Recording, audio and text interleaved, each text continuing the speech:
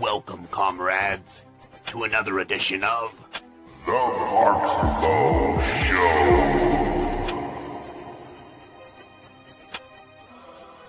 Episode 2 Juggalo Politics.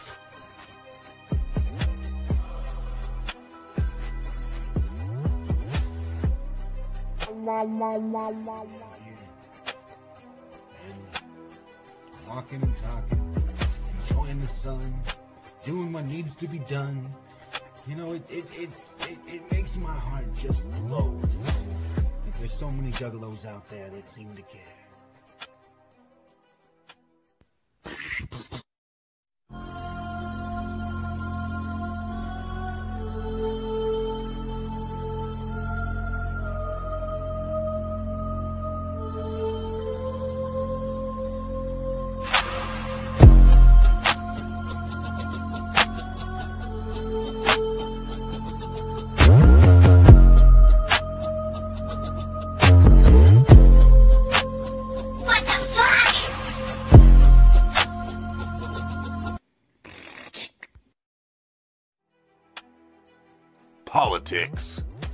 Science of government. In the right context, most things in life can be seen as political. if you shoot yourself in the face because you feel like it, that's not inherently political.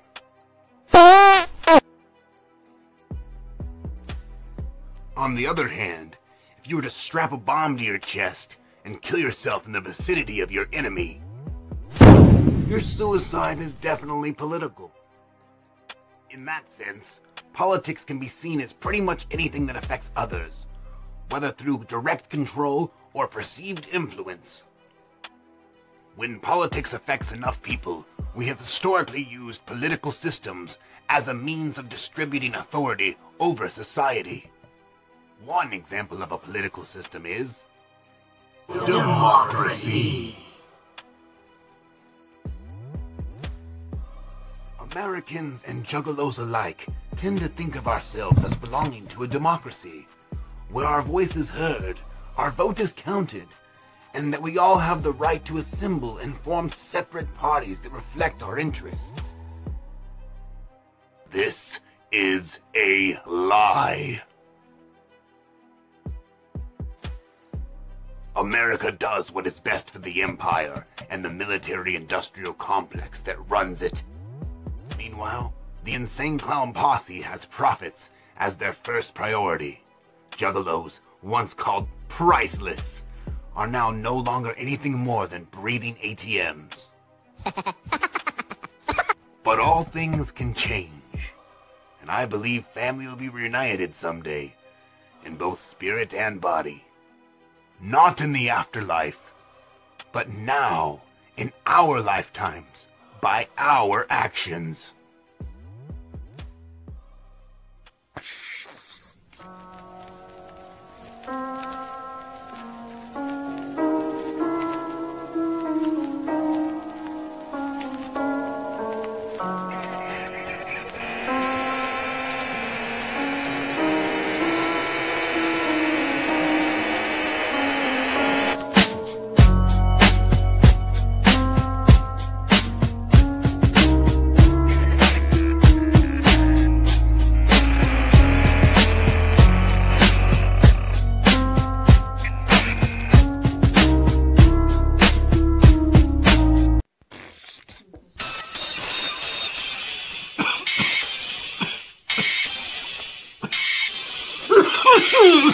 Part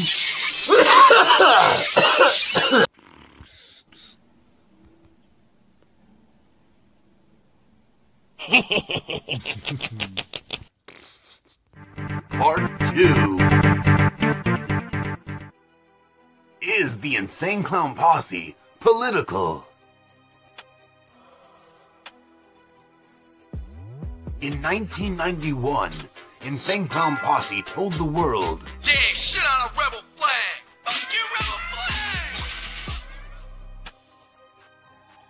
this was pretty fucking political.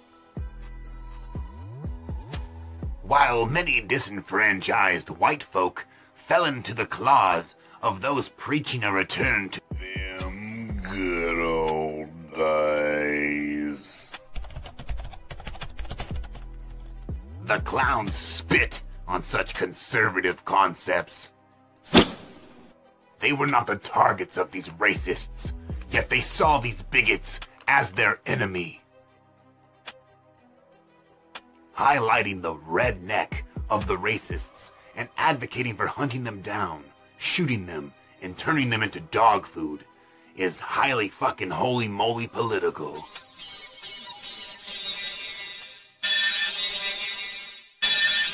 The Insane Clown Posse is able to do all of this on one song, one that we all know and love. Chicken Hut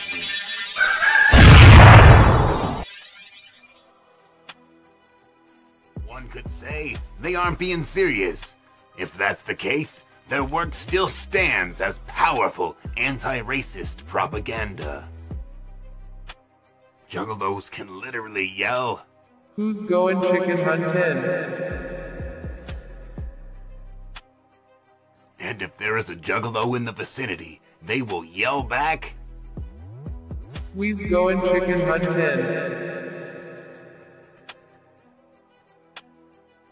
we are not referring to actual chickens when we yell this to each other, and we fucking know it. The anti-racist politics that exist in Juggalo culture are part of our collective roots. So I take it as my goal to shine some light on this and other political aspects of being a Juggalo.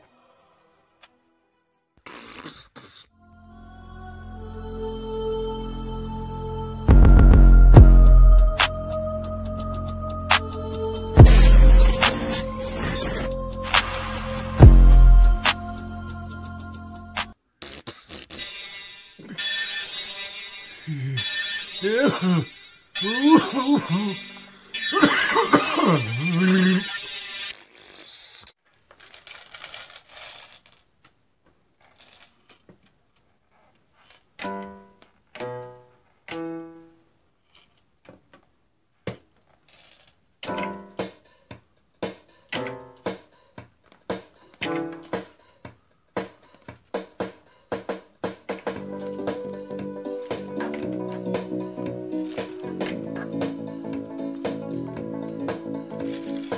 Get your ass up and go drink some water. Make sure you're hydrated for the slaughter. Get your ass up and go drink some water. Make sure you're hydrated for the slaughter. Water. The only liquid you need to survive. Part 3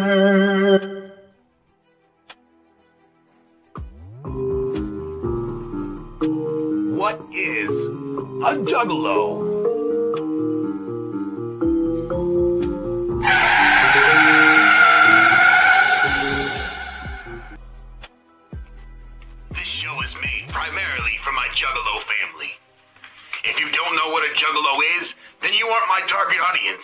You can look that shit up elsewhere, my friend.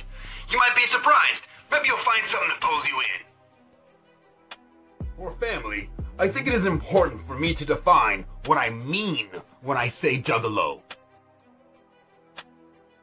In the context of Marxist theory, Juggalo is a gender neutral term used for all members of the family. All political ideologies or religious affiliations are secondary to the solidarity felt between us here in the Juggalo family. Every Juggalo is my potential homie and will be treated as such. That is the family. Keep in mind, these are only the definitions used by Marxlos. Other Juggalos might have a slightly different definition that they adhere to. Juggalos, as I mentioned in my Halloween episode, unlike any family, a variety of individuals, each with their own complex belief systems.